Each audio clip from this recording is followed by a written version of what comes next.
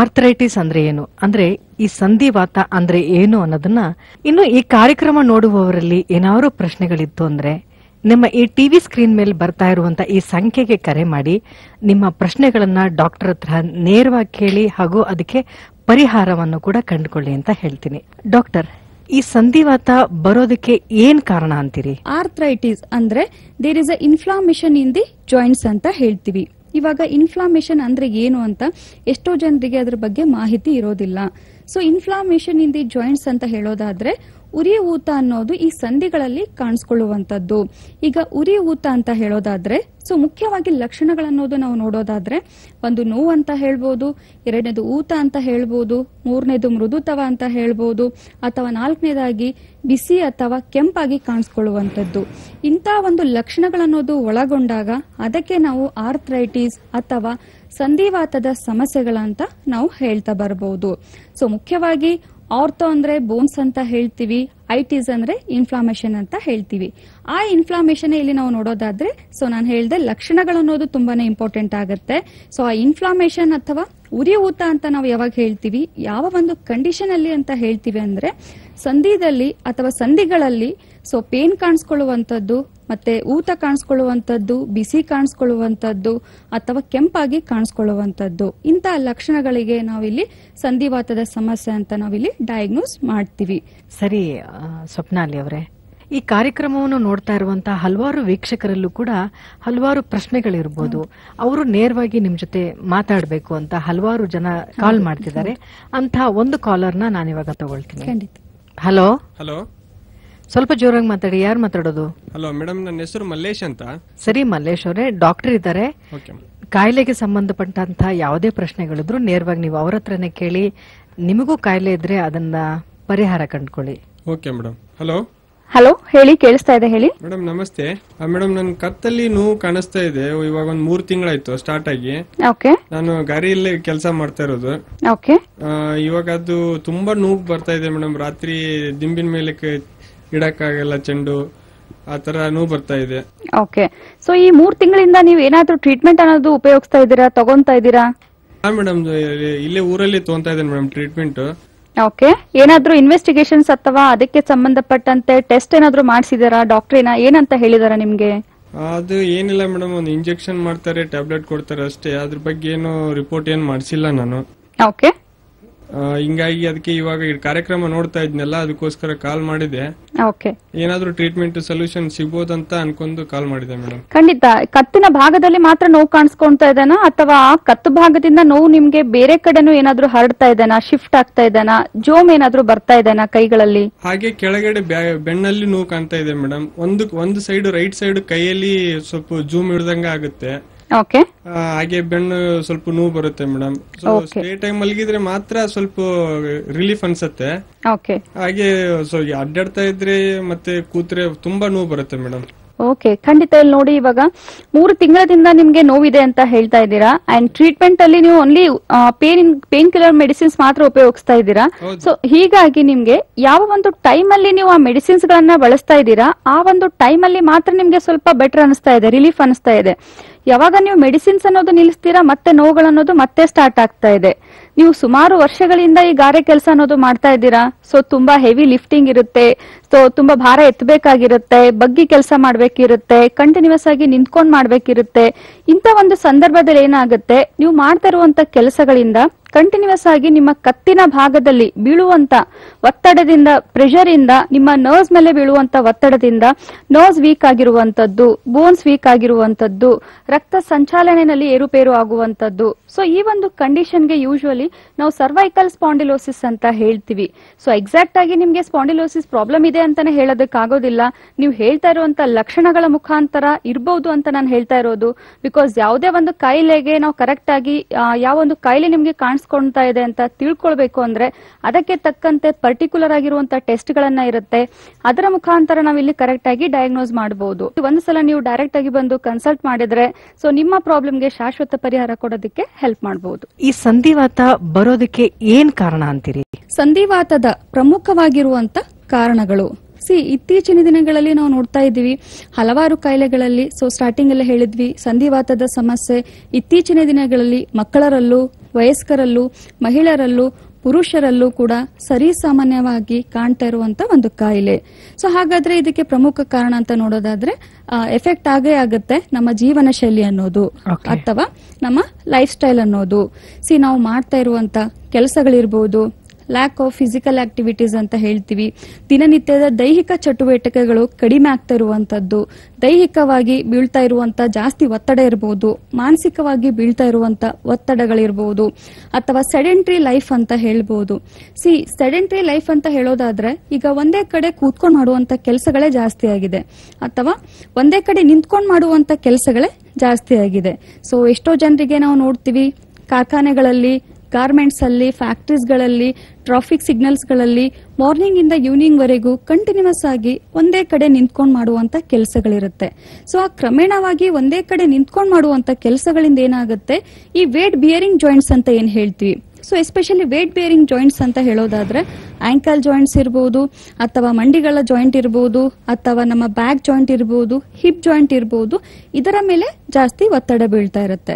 So ಹೀಗಾಗಿ ಈ wait bearing joints ಮೇಲೆ ಬೀಳುವಂತ ಒತ್ತಡದಿಂದ ಮೂಳೆಗಳ ಸಾಂದ್ರತೆ ಕಡಿಮೆ ಆಗುತ್ತೆ, ಮೂಳೆಗಳು ವೀಕ್ ಆಗ್ತಾ ಹೋಗುತ್ತೆ, ಅಥವಾ ಮೂಳೆಗಳ ಡೆನ್ಸಿಟಿ ಅನ್ನೋದು ಕಡಿಮೆ ಆಗ್ತಾ ಹೋಗುತ್ತೆ. ಸೊ ಹೀಗಾಗಿ ಲ್ಯಾಕ್ ಆಫ್ ಫಿಸಿಕಲ್ ಆಕ್ಟಿವಿಟೀಸ್ ಅಥವಾ ಸೆಡೆಂಟ್ರಿ ಲೈಫ್ ಮತ್ತೆ ನಾವು ಮಾಡ್ತಾ ಇರುವಂತ ಕೆಲಸ ಈ ಆರ್ಥ್ರೈಟಿಸ್ ಅಥವಾ ಸಂಧಿವಾತ ಬರೋದಕ್ಕೆ ಒಂದು ಪ್ರಮುಖ ಕಾರಣ ಅಂತ ಹೇಳ್ಬೋದು. ಇನ್ನು ಎರಡನೇದಾಗಿ ನಾವು ನೋಡೋದಾದ್ರೆ ಒಬೆಸಿಟಿ ಸಿ ದಿನನಿತ್ಯ ನಾವು ಹಲವಾರು ಕಾಯಿಲೆಗಳನ್ನೋದು ನೋಡ್ತಾ ಇದ್ದೀವಿ. ಅಂಡ್ ಒಬೆಸಿಟಿ ಹಲವಾರು ಕಾಯಿಲೆಗಳಿಗೆ ಒಂದು ಪ್ರಮುಖ ಕಾರಣ.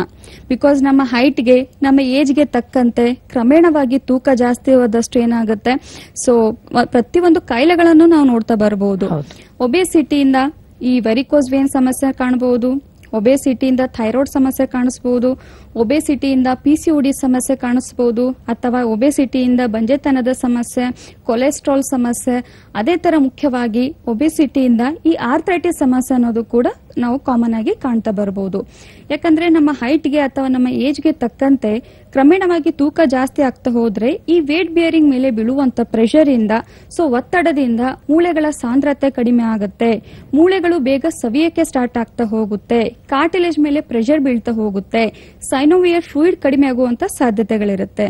ಸೊ ಹೀಗಾಗಿ ಈ ಬೊಜ್ಜುತನ ಅನ್ನೋದು ಅಥವಾ ಒಬೆಸಿಟಿ ಅನ್ನೋದು ಒಂದು ಪ್ರಮುಖ ಕಾರಣ ಅಂತ ನಾವು ಹೇಳ್ತಾ ಬರಬಹುದು ಇನ್ನು ಮೂರನೇದಾಗಿ ಮುಖ್ಯ ಕಾರಣ ಅಂತ ನಾವು ನೋಡೋದಾದ್ರೆ ಸೊ ಜೆನೆಟಿಕ್ ಫ್ಯಾಕ್ಟರ್ ಅಂತ ಹೇಳ್ಬೋದು, ಅಥವಾ ಫ್ಯಾಮಿಲಿ ಹಿಸ್ಟ್ರಿ ಅಂತ ಹೇಳ್ಬಹುದು ಈಗ ಹೇಳಿರುವಂತ ಕಾರಣಗಳಲ್ಲಿ ಪ್ರಮುಖವಾಗಿ ನೋಡುವಂತ ಕಾರಣ ಅಂದ್ರೆ ಸೊ ನಮ್ಮ ಲೈಫ್ ಸ್ಟೈಲ್ ನ್ಯೂಟ್ರಿಷನ್ ಡೆಫಿಷಿಯನ್ಸಿ ಅಂತ ಹೇಳ್ಬಹುದು ಮತ್ತೆ ಮುಖ್ಯವಾಗಿ ಒಬೆಸಿಟಿ ಈ ಪ್ರಮುಖ ಕಾರಣಗಳಂತ ನಾವು ಹೇಳ್ಬಹುದು ಕಾಲರ್ ರೆಡಿ ಇದ್ದಾರೆ ಮೇಡಮ್ ಮತ್ತೊಬ್ಬ ಕಾಲರ್ ಇದ್ದಾರೆ ತಗೊಳ್ತೀನಿ.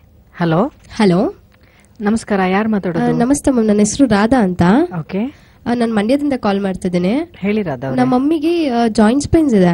ಓಕೆ. ಸೊ ಅವ್ರಿಗೆ ಸ್ಟೆಪ್ಸ್ ಎಲ್ಲ ಹತ್ತಿದ್ರೆ ಇಲ್ಲಾಂದ್ರೆ ಇಳಿದ್ರೆ ಕಾಲಲ್ಲಿ ಸೌಂಡ್ ಬರ್ತಿದೆ. ಓಕೆ. ಸೊ ಅದನ್ನ ಸೊಲ್ಯೂಷನ್ ಕೇಳೋಣ ಅಂತೋಸ್ಕರ ಕಾಲ್ ಮಾಡ್ದೆ. ಓಕೆ. ಡಾಕ್ಟರ್ ಈ ಕುರಿತಾದಂತೆ ಹಲವಾರು ನಿಮಗೆ ಉಪಯುಕ್ತವಾದಂತಹ ಉಪಯುಕ್ತವಾದಂಥ ಸಲಹೆಗಳನ್ನ ಕೊಡ್ತಾರೆ. ನೀವು ನೇರವಾಗಿ ಅವ್ರಿಗೆ ಪ್ರಶ್ನೆಯನ್ನ ಕೇಳಿ. ಓಕೆ ಮ್ಯಾಮ್ ಓಕೆ ಹಲೋ ಹೇಳಿಮ್ಮ ಮೇಡಮ್ ನಮಸ್ತೆ ನನ್ನ ಹೆಸರು ರಾಧಾ ಅಂತ. ನಮಸ್ಕಾರ. ನಮ್ಮ ತಾಯಿಯವ್ರಿಗೆ ಜಾಯಿಂಟ್ಸ್ ಪೇನ್ಸ್ ಇದೆ. Okay past from three to four years ಇಂದ. ಓಕೆ ಮೆಟ್ಲು ಹತ್ತಿದ್ರೆ ಮೆಟ್ಲು ಇಳಿದ್ರೆ ಸೊ ಕಾಲ್ ನೋವು ಬರ್ತಿದೆ. ಓಕೆ ಸೊ ಮೆಟ್ಲು ಹತ್ತದ್ಮೇಲೆ ಅವ್ರಿಗೆ ಲೈಕ್ ಸೌಂಡ್ ಬರ್ತಿದೆ ಕಾಲಲ್ಲಿ. ಸೊ ಅದೇ ಏನ್ ಪ್ರಾಬ್ಲಮ್ ಆಯ್ತು ಅಂತ ಕೇಳಲಿಕ್ಕೋಸ್ಕರ ಕಾಲ್ ಮಾಡಿದೆ. ಓಕೆ ಅಮ್ಮ ಇವಾಗ ಅವರಿಗೆ ವಯಸ್ಸೆಷ್ಟು ನಲವತ್ತೈದು. ನಲವತ್ತೈದು. ಈ ಪ್ರಾಬ್ಲಮ್ ಅವರಿಗೆ ಎಷ್ಟು ವರ್ಷದಿಂದ ಎಷ್ಟು ದಿವಸದಿಂದ ಕಾಣಿಸ್ಕೊಳ್ತಾ ಇದೆ? ಎರಡರಿಂದ ಮೂರು ವರ್ಷದಿಂದ ಅವ್ರಿಗೆ ಪ್ರಾಬ್ಲಮ್ ಇದೆ ಇದು. ಓಕೆ ಅಮ್ಮ. ಏನಾದ್ರು ಟ್ರೀಟ್ಮೆಂಟ್ ಏನಾದ್ರು ಕೊಡ್ಸಿದ್ದೀರಾ ಅವರಿಗೆ ನೀವು? ಹೌದು ಮ್ಯಾಮ್ ಆಕ್ಚುಲಿ ಡಾಕ್ಟರ್ಗೂ ಕೂಡ ಇನ್ಫೋ ಐ ಮೀನ್ ಡಾಕ್ಟರ್ ಹೇಳಿದ್ರು ಆಕ್ಚುಲಿ ಐ ಮೀನ್ ಆಪರೇಷನ್ ಮಾಡಬೇಕು ಅಂತ. ಓಕೆ ಸೊ ಇಂಜೆಕ್ಷನ್ ಕೂಡ ತಗೊಂತಿದ್ದಾರೆ. ಈ ನಿಮಿಷಕ್ಕೆ ವಾಸಿ ಆಗುತ್ತೆ ಮತ್ತೆ ಒಂದು ತಿಂಗಳಾದ್ಮೇಲೆ ಇಲ್ಲಾಂದ್ರೆ ಒಂದು ಎರಡ್ ಮೂರು ವಾರ ಆದ್ಮೇಲೆ ಮತ್ತೆ ಪ್ರಾಬ್ಲಮ್ ಸ್ಟಾರ್ಟ್ ಆಗುತ್ತೆ. ಓಕೆ ಮಾ ನೋಡಿ, ನೀವು ಹೇಳ್ತಿರುವಂತ ಲಕ್ಷಣಗಳ ಪ್ರಕಾರ ಸೊ ನಿಮ್ಮ ತಾಯಿಗೆ ಆಸ್ಟಿಯೋ ಆರ್ಥರೈಟಿಸ್ ಪ್ರಾಬ್ಲಮ್ ಸ್ಟಾರ್ಟ್ ಆಗಿದೆ ಅಂತಾನೆ ಹೇಳ್ಬಹುದು ಬಿಕಾಸ್ ನಲವತ್ತೈದು ವರ್ಷ ಅಂತ ಹೇಳ್ತಾ ಇದ್ದೀರಾ. ಸೊ ಥರ್ಟಿ ಫೈವ್ ಅಥವಾ ಥರ್ಟಿ ಏಜ್ ಆದ್ಮೇಲೆ ಹೆಣ್ಮಕ್ಳಿಗೆ ಮೂಳೆಗಳ ಸಾಂದ್ರತೆ ಅಥವಾ ಮೂಳೆಗಳು ಬೇಗ ವೀಕ್ ಆಗ್ತಾ ಹೋಗುತ್ತೆ. ಅದರಲ್ಲಿ ಇವಾಗ ಅವರಿಗೆ ನಲವತ್ತೈದು ವಯಸ್ಸು ಅಂತ ಹೇಳ್ತಾ ಇದ್ದೀರಾ. ನಡೀತಾ ಇರ್ಬೇಕಾದಾಗ ಸೌಂಡ್ ಬರ್ತಾ ಇದೆ ಅಂತ ಹೇಳ್ತಾ ಇದ್ದೀರಾ. ಯೂಶುವಲಿ ಆ ಒಂದು ಸೌಂಡ್ಗೆ ನಾವು ಸೈಂಟಿಫಿಕಲಿ ಕ್ರೆಪಿಟಸ್ ಅಂತ ಹೇಳ್ತೀವಿ. ಇದು ಒಂದು ಸೈನ್ ಅಂತಾನೆ ಹೇಳ್ಬೋದು. ಇದರಿಂದ ಮುಖ್ಯವಾಗಿ ನಾವು ಆಸ್ಟಿಯೋ ಆರ್ಥರೈಟಿಸ್ ಸ್ಟಾರ್ಟ್ ಆಗಿದೆ ಅಂತಾನೂ ಕೂಡ ತಿಳ್ಕೊಳ್ಬಹುದು ಬಟ್ ಅದಕ್ಕೆ ತಕ್ಕಂತೆ ಹಲವಾರು ಟೆಸ್ಟ್ಗಳು ಕೂಡ ಇರುತ್ತೆ. ಸೊ ಫಸ್ಟ್ ಕರೆಕ್ಟ್ ಆಗಿ ನಾವು ಡಯಾಗ್ನೋಸ್ ಮಾಡೋದು ತುಂಬಾನೇ ಇಂಪಾರ್ಟೆಂಟ್ ಆಗುತ್ತೆ. ಸೊ ಡಾಕ್ಟರ್ ಕೂಡ ನಿಮ್ಗೆ ಸರ್ಜರಿ ಮಾಡಿಸಿ ಅಂತ ಹೇಳ್ತಾ ಇದ್ದಾರೆ ಅಂದ್ಮೇಲೆ ಸೊ ಆಸ್ಟಿಯೋ ಆರ್ಥ್ರೈಟಿಸ್ ಇದೆ ಅಂತ ಡಯಾಗ್ನೋಸ್ ಆದ್ಮೇಲೆ ಕೂಡ ಅವರು ಹೇಳಿರ್ತಾರೆ. ಬಟ್ ಖಂಡಿತ ಎಲ್ಲಾ ಒಂದು ಕಾಯಿಲೆಗೆ ಸರ್ಜರಿ ಅನ್ನೋದೇ ಒಂದು ಪರಿಹಾರ ಇರೋದಿಲ್ಲ. ಯಾವುದೇ ಒಂದು ಸರ್ಜರಿ ಇಲ್ದೇನೆ ಶಾಶ್ವತ ಪರಿಹಾರ ಕೊಡೋದಕ್ಕೂ ಕೂಡ ಹೋಮಿಯೋಪತಿನಲ್ಲಿ ನಾವು ಮೆಡಿಸಿನ್ಸ್ ಗಳನ್ನ ಕೊಟ್ಟು ಆ ಕಾಯಿಲೆಗೆ ಟ್ರೀಟ್ಮೆಂಟ್ ಅನ್ನೋದು ಕೊಡಬಹುದು ಈಗ ನೀವು ನೋವಿದೆ ಅಂದ ತಕ್ಷಣ ನೋವಿನ ಮಾತ್ರೆ ತಿಂತಾ ಇರ್ತೀರಾ ಇಂಜೆಕ್ಷನ್ಸ್ ಗಳನ್ನ ಬಳಸ್ತಾ ಇರ್ತೀರಾ ಬಟ್ ಅದಕ್ಕೆ ತಕ್ಕಂತ ಯಾವುದೇ ರೀತಿಯ ಫಿಸಿಕಲ್ ಆಕ್ಟಿವಿಟೀಸ್ ಆಗ್ಲಿ ಎಕ್ಸಸೈಸಸ್ ಆಗ್ಲಿ ಅದನ್ನ ಮಾಡದೇ ಇರೋದ್ರಿಂದನೂ ಕೂಡ ಕಾಯಿಲೆ ಇನ್ನೂ ಜಾಸ್ತಿ ಬೆಳೀತಾ ಹೋಗುತ್ತೆ. ಸರ್ಜರಿಗೆ ಹೋಗೋಕಿನ್ನ ಮುಂಚೆ ಒಂದು ಸಲ ಅವರನ್ನ ಕರ್ಕೊಂಡ್ ಬಂದು ಸೊ ನಮ್ಮ ಹೋಮಿಯೋಪತಿಗೆ ನೀವು ಕರ್ಕೊಂಡ್ ಬಂದು ಕನ್ಸಲ್ಟೇಷನ್ ಅಥವಾ ವಿಸಿಟ್ ಮಾಡಿಸಿದ್ರೆ, ಅವರ ಕಾಯಿಲೆಗೆ ಕಾರಣ ಏನು ಅಂತ ತಿಳ್ಕೊಂಡು ಅಥವಾ ಎಕ್ಸ್ರೇ ಮುಖಾಂತರ ಯಾವ ಒಂದು ಹಂತದಲ್ಲಿದೆ ಯಾವ ಒಂದು ಸ್ಟೇಜ್ ಅಲ್ಲಿ ಇದೆ ಸೊ ನಮ್ಮ ಮೆಡಿಸಿನ್ಸ್ ಮುಖಾಂತರನೇ ಅವರಿಗೆ ಕಾಯಿಲೆ ಗುಣಪಡಿಸಬಹುದಾ ಅಂತ ನಾವು ಇನ್ನೂ ನಿಮಗೆ ಡೀಟೇಲ್ಸ್ ಅಲ್ಲಿ ಹೇಳ್ಬಹುದು ಬಟ್ ಅದಕ್ಕೆ ತಕ್ಕಂತೆ ನಾವು ಕೊಡುವಂತ ಟ್ರೀಟ್ಮೆಂಟ್ ಅಥವಾ ಮೆಡಿಸಿನ್ಸ್ ಇಂದ ಅವರು ಯಾವ ಒಂದು ಮೆಡಿ ಫಿಸಿಕಲ್ ಎಕ್ಸಸೈಸಸ್ ಇರ್ಬೋದು ಸೆಲ್ಫ್ ಮ್ಯಾನೇಜ್ಮೆಂಟ್ ಅಂತ ಹೇಳ್ತೀವಿ. ಎಕ್ಸಸೈಸಸ್ ಮಾಡೋದಾದ್ರೆ ಯಾವ ತರದ ಎಕ್ಸಸೈಸಸ್ ಮಾಡಬೇಕಿರುತ್ತೆ, ಎಷ್ಟು ಒಂದು ಪ್ರಮಾಣದಲ್ಲಿ, ಎಷ್ಟು ಒಂದು ಡ್ಯೂರೇಷನ್ ಅಲ್ಲಿ ಅವರು ಮಾಡಬೇಕಿರುತ್ತೆ. ಸೊ ಪ್ರತಿಯೊಂದನ್ನು ಕೂಡ ನಾವಿಲ್ಲಿ ಹೇಳ್ಕೊಡೋದಕ್ಕೂ ಅವರಿಗೆ ಹೆಲ್ಪ್ ಮಾಡ್ತಾ ಇರ್ತೀವಿ. ಅದಕ್ಕೆ ತಕ್ಕಂತೆ ಅವರು ಕೂಡ ಕರೆಕ್ಟ್ ಆಗಿ ಫಾಲೋ ಅಪ್ ಮಾಡ್ತಾ ಹೋದ್ರೆ ಯಾವುದೇ ರೀತಿ ಒಂದು ಸೈಡ್ ಎಫೆಕ್ಟ್ಸ್ ಇಲ್ಲದೇನೆ ಹೋಮಿಯೋಪತಿ ಟ್ರೀಟ್ಮೆಂಟ್ ಮುಖಾಂತರ ಅವರಿಗೆ ಶಾಶ್ವತ ಪರಿಹಾರ ಕೊಡಬಹುದು ಸೊ ಮುಖ್ಯವಾಗಿ ಈಗ ಪೇನ್ ಏನ್ ಸ್ಟಾರ್ಟ್ ಆಗ್ತಾ ಇದೆ ಸೊ ಸೌಂಡ್ ಬರ್ತಾ ಇದೆ ಇವಾಗ ಅಂತ ಹೇಳ್ತಾ ಇದ್ದೀರಾ. ಇನಿಷಿಯಲ್ ಸ್ಟೇಜ್ ಅಲ್ಲಿ ಇದ್ದಾಗ್ಲೇನೆ ನೀವು ಹೋಮಿಯೋಪತಿ ಟ್ರೀಟ್ಮೆಂಟ್ ಅನ್ನ ಕೊಡ್ಸಿದ್ರೆ ಸದ್ಯಕ್ಕೆ ನೋವನ್ನೋದು ಕಡಿಮೆ ಆಗೋದಂತ ಅಷ್ಟೇ ಅಲ್ಲ ಈ ಕಾಯಿಲೆಯಿಂದ ಈ ಆಸ್ಟಿಯೋ ಆರ್ಥ್ರೈಟಿಸ್ ಇಂದ ಸೊ ಅಲ್ಲಿಂದ ಪೇನ್ ಬೇರೆ ಜಾಯಿಂಟ್ಸ್ಗೆ ಶಿಫ್ಟ್ ಆಗುವಂತದ್ದಾಗ್ಲಿ ಅದರಿಂದ ಉಂಟಾಗುವಂತ ಕಾಂಪ್ಲಿಕೇಶನ್ಸ್ ಗಳನ್ನಾಗ್ಲಿ ಅವಾಯ್ಡ್ ಮಾಡೋದಕ್ಕೂ ಕೂಡ ಇಲ್ಲಿ ನಾವು ನಿಮ್ಗೆ ಖಂಡಿತ ಹೆಲ್ಪ್ ಮಾಡಬಹುದು. Okay ma'am thank you ma'am thanks ಕರೆ ಮಾಡಿದ್ದಕ್ಕೆ. ಸಂಧಿವಾತ ಬರೋದಕ್ಕೆ ಏನ್ ಕಾರಣ ಅಂತ ನಮ್ಗೆಲ್ಲರಿಗೂ ಗೊತ್ತಾಗಿದೆ. ಈ ಸಂಧಿವಾತದಲ್ಲಿ ಎಷ್ಟು ವಿಧಗಳಿದಾವೆ ಅಂತ ಹೇಳ್ತೀರಾ? ಖಂಡಿತ ಮೇಡಮ್ ಸಿ ಆರ್ಥ್ರೈಟಿಸ್ ಅಥವಾ ಹಲವಾರು ಕಾಯಿಲೆಗಳಲ್ಲಿ ಒಂದು ಸ್ಟೇಜಸ್ ಅನ್ನೋದು ಅಥವಾ ಒಂದು ಟೈಪ್ಸ್ ಅನ್ನೋದು ಪಾರ್ಟ್ಸ್ ಅನ್ನೋದು ಇದ್ದೇ ಇರುತ್ತೆ. ಸೊ ಅದರಲ್ಲೂ ಕೂಡ ಆರ್ಥ್ರೈಟಿಸ್ ಅಲ್ಲೂ ಕೂಡ ಹಲವಾರು ತರದ ಆರ್ಥ್ರೈಟಿಸ್ ಇದೆ. So more than hundred types of arthritis ಇದೆ. ಸೊ ನೂರಕ್ಕಿಂತ ಹೆಚ್ಚಾಗಿರುವಂತ ಆರ್ಥ್ರೈಟಿಸ್ ಟೈಪ್ಸ್ ಇದೆ.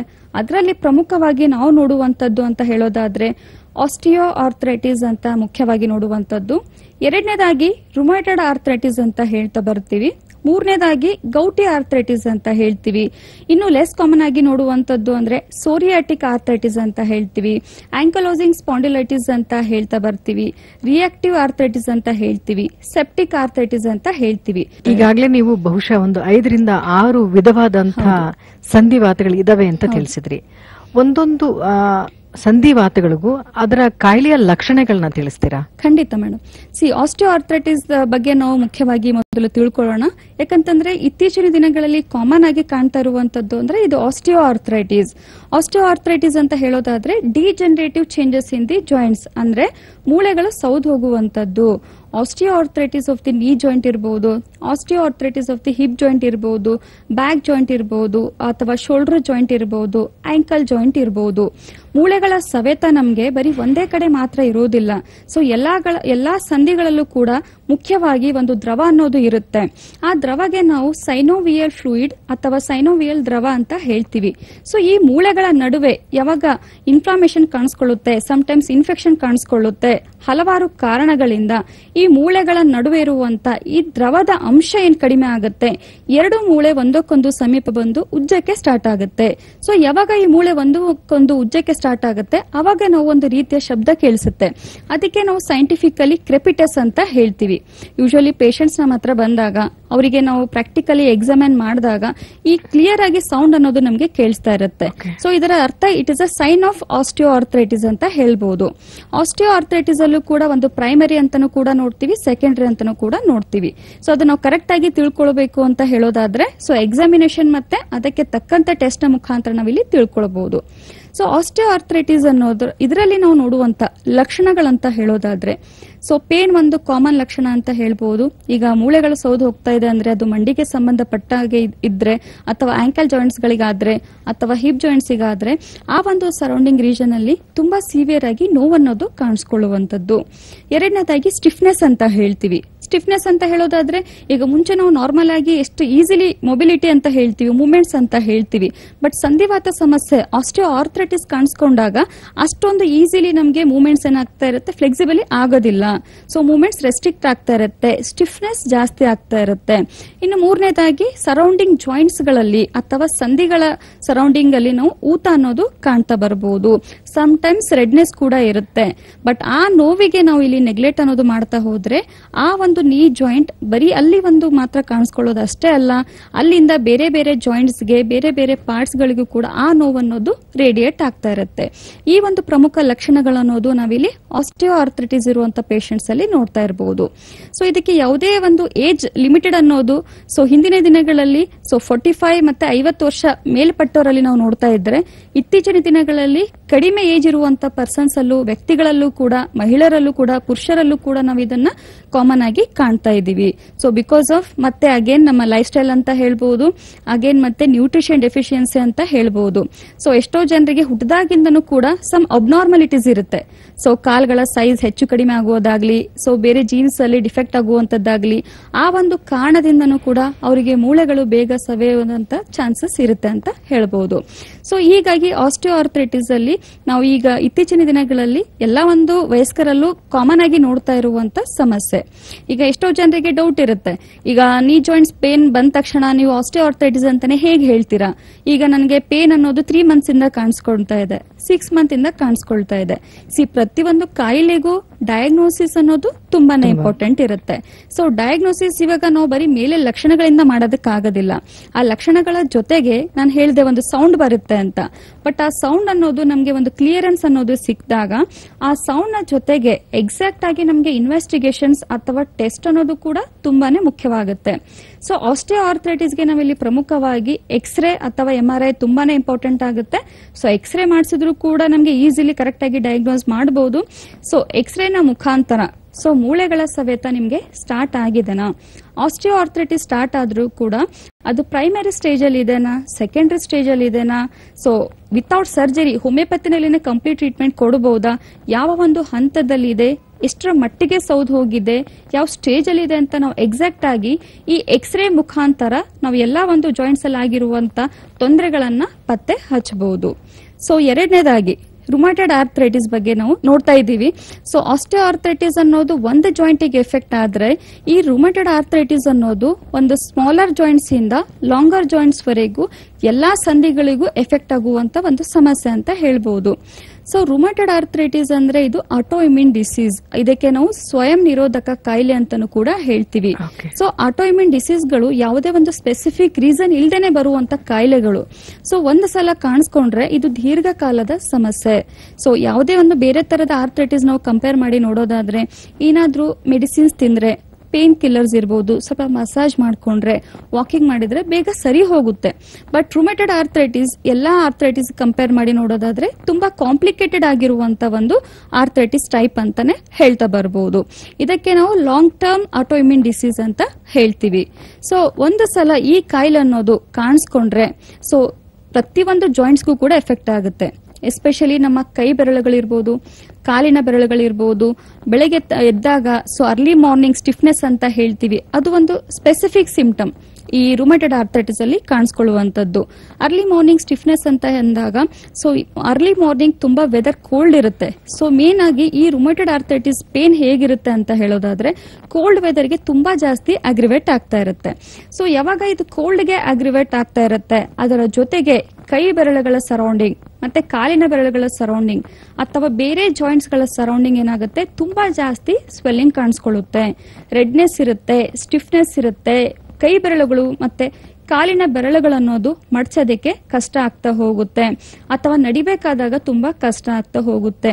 ಎಲ್ಲಕ್ಕಿಂತ ಇಂಪಾರ್ಟೆಂಟ್ ಆಗಿ ಸೊ ಇವಾಗ ಬೇರೆ ತರದ ಆರ್ಥ್ರೈಟಿಸ್ ಅಲ್ಲಿ ನಾವು ಬರೀ ಜಾಯಿಂಟ್ಸ್ಗೆ ಟಿಶ್ಯೂಸ್ಗೆ ಟೆಂಡೌನ್ಸ್ಗೆ ಲಿಗಾಮೆಂಟ್ಸ್ಗೆ ಎಫೆಕ್ಟ್ ಆಗುವಂತದ್ದು ನೋಡೋದಾದ್ರೆ ರುಮೈಟೆಡ್ ಆರ್ಥ್ರೈಟಿಸ್ ಅಲ್ಲಿ ಸೊ ಜಾಯಿಂಟ್ಸ್ಗಳ ಜೊತೆಗೆ ಬೇರೆ ತರದ ಅಂಗಗಳಿಗೂ ಎಫೆಕ್ಟ್ ಆಗುವಂತ ಆರ್ಥ್ರೈಟಿಸ್ ಅಂತ ಹೇಳೋದಾದ್ರೆ ಅದು ರುಮೈಟೆಡ್ ಆರ್ಥ್ರೈಟಿಸ್ ಅಂತ ನಾವು ಹೇಳ್ಬಹುದು ಸೊ ರೂಮಾಟೆಡ್ ಆರ್ಥ್ರೈಟಿಸ್ ಇರುವಂತ ಪೇಷಂಟ್ಸ್ ಸ್ಟಾರ್ಟಿಂಗ್ ಅಲ್ಲಿ ಸೊ ಒಂದ್ಸಲ ನೀವು ಇನ್ವೆಸ್ಟಿಗೇಷನ್ಸ್ ಅನ್ನೋದು ಮಾಡಿಸಿದಾಗ ಮುಖ್ಯವಾಗಿ ಮಾಡಬೇಕಾಗಿರುವಂತ ಟೆಸ್ಟ್ಗಳು ಅಂತ ಹೇಳೋದಾದ್ರೆ ಸೊ ಸಿ ಆರ್ ಪಿ ಅಂತ ಹೇಳ್ತೀವಿ ಆರ್ ಎ ಅಂತ ಹೇಳ್ತೀವಿ ಇ ಎಸ್ ಆರ್ ಟೆಸ್ಟ್ಗಳಂತ ಹೇಳ್ತೀವಿ.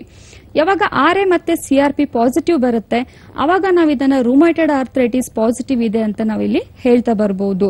ನೀವು ಇನ್ವೆಸ್ಟಿಗೇಷನ್ಸ್ ಮಾಡಿದ ತಕ್ಷಣನೂ ಕೂಡ ನಿಮಗೆ ಆರ್ ಪಾಸಿಟಿವ್ ಬಂದಿದೆ ಅಂದ್ರೂ ಕೂಡ ನೀವು ಮತ್ತೆ ಸ್ಟಿರಾಯ್ಡ್ ಮೆಡಿಸಿನ್ಸ್ ಅಥವಾ ಅದರ್ ಮೆಡಿಸಿನ್ಸ್ ಗಳನ್ನ ನೀವು ಬಳಸ್ತಾ ಹೋದ್ರೆ, ಸೊ ಪೇನಿನ ಇಂಟೆನ್ಸಿಟಿ ಜಾಸ್ತಿ ಆಗೋದಷ್ಟೇ ಅಲ್ಲ, ನೀವು ರುಮಟೆಡ್ ಆರ್ಥೈಟಿಸ್ ಅಲ್ಲಿ ಹಲವಾರು ತರದ ಕಾಂಪ್ಲಿಕೇಶನ್ಸ್ ಗಳನ್ನ ಕೂಡ ಫೇಸ್ ಮಾಡ್ತಾ ಹೋಗ್ಬೇಕಾಗತ್ತೆ. ಸೊ ಆ ಕಾಂಪ್ಲಿಕೇಶನ್ಸ್ಗಳಲ್ಲಿ ಮುಖ್ಯವಾಗಿ ನಾವು ನೋಡೋದಂದ್ರೆ, ಈ ರುಮಟೆಡ್ ಆರ್ಥೈಟಿಸ್ ಪೇಷಂಟ್ಸ್ ನೆಗ್ಲೆಕ್ಟ್ ಮಾಡ್ತಾ ಹೋದಷ್ಟು ಡಿಫಾರ್ಮಿಟಿ ಸ್ಟಾರ್ಟ್ ಆಗುತ್ತೆ. ಡಿಫಾರ್ಮಿಟಿ ಅಂತ ಹೇಳೋದಾದ್ರೆ ಕೈನ ಬೆರಳುಗಳ ಶೇಪೇ ಚೇಂಜ್ ಆಗ್ಬಿಡುತ್ತೆ. ಸೊ ಒಂದು ಸಲ ಶೇಪ್ ಚೇಂಜ್ ಆಗಕ್ಕೆ ಸ್ಟಾರ್ಟ್ ಆದ್ರೆ ಸೊ ಅದನ್ನ ಯಾವುದೇ ರೀತಿಯ ಟ್ರೀಟ್ಮೆಂಟ್ ಕೊಟ್ಟರೂ ಸರಿ ಹೋಗೋದಿಲ್ಲ. ಈವನ್ ಸರ್ಜರಿ ಮಾಡಿದ್ರೂ ಕೂಡ ಕಷ್ಟ ಆಗ್ತಾ ಹೋಗುತ್ತೆ. ಎರಡನೇದಾಗಿ ಸ್ಕಿನ್ ನೋಡ್ಯೂಲ್ಸ್ ಅಂತ ಹೇಳ್ತೀವಿ. ರುಮೈಟೆಡ್ ನೋಡ್ಯೂಲ್ಸ್ ಅಂತ ಹೇಳ್ತೀವಿ. ಕೈಗಳಲ್ಲಿ ಗಂಟು ಹುಟ್ಕೊಳ್ಳಿಕ್ಕೆ ಸ್ಟಾರ್ಟ್ ಆಗುತ್ತೆ. ಮೂರನೇದಾಗಿ ಲಂಗ್ಸ್ಗೆ ಸರೌಂಡಿಂಗ್ ಅಲ್ಲಿ ಇನ್ಫ್ಲಾಮೇಶನ್ ಕಾಣಿಸ್ಕೊಳ್ಳಕ್ ಸ್ಟಾರ್ಟ್ ಆಗುತ್ತೆ. ಇನ್ಫ್ಲಾಮೇಶನ್ ಅಂತ ಹೇಳಿದ್ರೆ ಉರಿಯೂತ ಫೈಬ್ರೋಸಿಸ್ ಅಂತ ಹೇಳ್ತೀವಿ. ಈ ಲಂಗ್ ಫೈಬ್ರೋಸಿಸ್ ಅನ್ನೋದು ಕೂಡ it is a complication of rheumatoid arthritis ಅಂತಾನು ಕೂಡ ಸಮಟೈಮ್ಸ್ ನಾವು ಹೇಳಬಹುದು ಇನ್ನು ಹಾರ್ಟ್ಗೆ ಸಂಬಂಧಪಟ್ಟಿರುವಂತಹ ಕಾಂಪ್ಲಿಕೇಶನ್ ಕೂಡ ರುಮೈಟೆಡ್ ಆರ್ಥೈಟಿಸ್ ಪೇಷಂಟ್ಸ್ ಕರೆಕ್ಟ್ ಆಗಿ ಟ್ರೀಟ್ಮೆಂಟ್ ತಗೊಳ್ಳಿಲ್ಲ ಅಂದ್ರೆ ಕಾಣಿಸ್ಕೊಳ್ಳುವಂತ ಸಾಧ್ಯತೆಗಳಿರುತ್ತೆ. ಅಂಡ್ ಈವನ್ ರೊಮೆಟೆಡ್ ಆರ್ಥೈಟಿಸ್ ಪೇಷಂಟ್ಸ್ಗೆ ನಾಟ್ ಓನ್ಲಿ ಹಾರ್ಟ್ ಅಷ್ಟೇ ಅಲ್ಲ ಸೊ ಲಂಗ್ಸ್ ಅಷ್ಟೇ ಅಲ್ಲ ಸ್ಕಿನ್ಗೆ ಅಷ್ಟೇ ಅಲ್ಲ ಲಿವರ್ ಮತ್ತೆ ಕಿಡ್ನಿಗೆ ಕೂಡ ಎಫೆಕ್ಟ್ ಆಗುವಂತ ಸಾಧ್ಯತೆಗಳಿರುತ್ತೆ. ಸೊ ಹೀಗಾಗಿ ಇಂಥ ಒಂದು ಕಾಂಪ್ಲಿಕೇಶನ್ಸ್ ಗಳನ್ನ ನಾವು ರೊಮೆಟೆಡ್ ಆರ್ಥೈಟಿಸ್ ಇರುವಂತ ಪೇಷಂಟ್ಸ್ ಅಲ್ಲಿ ನೋಡ್ತಾ ಬರಬಹುದು ಇನ್ನು ಮೂರನೇದಾಗಿ ಸೊ ನಾವು ಇಲ್ಲಿ ಟೈಪ್ಸ್ ಬಗ್ಗೆ ಹೇಳ್ತಾ ಇದ್ದೀವಿ. ಒಂದು ಆಸ್ಟೆ ಆರ್ಥ್ರೈಟಿಸ್ ರುಮೈಟೆಡ್ ಆರ್ಥ್ರೈಟಿಸ್ ಇವಾಗ gouty arthritis so gouty arthritis ಅನ್ನೋದು ಲೆಸ್ ಕಾಮನ್ ಆಗಿ ನೋಡ್ತಾ, ನೋಡುವಂತ ಸಮಸ್ಯೆ. ಬಟ್ ಆದ್ರೂ ಈ ಗೌಟೆ ಆರ್ಥರೈಟಿಸ್ ಅಂದ್ರೆ ಏನು? ಯಾವ ಒಂದು ಕಾರಣಕ್ಕಾಗಿ ಬರುತ್ತೆ ಅಂತ ತುಂಬಾ ಜನರಿಗೆ ಅದ್ರ ಬಗ್ಗೆ ಮಾಹಿತಿ ಇರೋದಿಲ್ಲ. ಸೊ ಗೌಟೆ ಆರ್ಥರೈಟಿಸ್ ಅಂದ್ರೆ ಇದು ಕೂಡ ಒಂದು ಇನ್ಫ್ಲಾಮೇಟರಿ ಡಿಸೀಸ್ ಅಂತಾನೆ ಹೇಳ್ತೀವಿ. ಜಾಯಿಂಟ್ಸ್ಗಳಲ್ಲಿ ಉರಿ ಊತ ಕಾಣಿಸ್ಕೊಳ್ಳುವಂತದ್ದು ಅದು ಯಾವ ಒಂದು ಕಂಡೀಷನ್ ಅಲ್ಲಿ ಕಾಣಿಸ್ಕೊಳ್ಳುತ್ತ ಅಂದ್ರೆ ಯೂರಿಕ್ ಆಸಿಡ್ ಲೆವೆಲ್ ಜಾಸ್ತಿ ಪ್ರಮಾಣದಲ್ಲಿ ರಕ್ತದಲ್ಲಿ ಕಾಣಿಸ್ಕೊಂಡಾಗ ನಾವು ಅದಕ್ಕೆ ಗೌಟಿ ಅಥವಾ ಗೌಟಿ ಆರ್ಥರೈಟಿಸ್ ಅಂತ ನಾವಿಲ್ಲಿ ಕರಿತಾ ಬರಬಹುದು uric acid level more than six ಅಥವಾ ಸೆವೆನ್ ಇದ್ರೆ ನಾವು ಅದಕ್ಕೆ ಗೌಟ್ ಇದೆ ಅಂತ ಡಯಾಗ್ನೋಸ್ ಮಾಡಬಹುದು.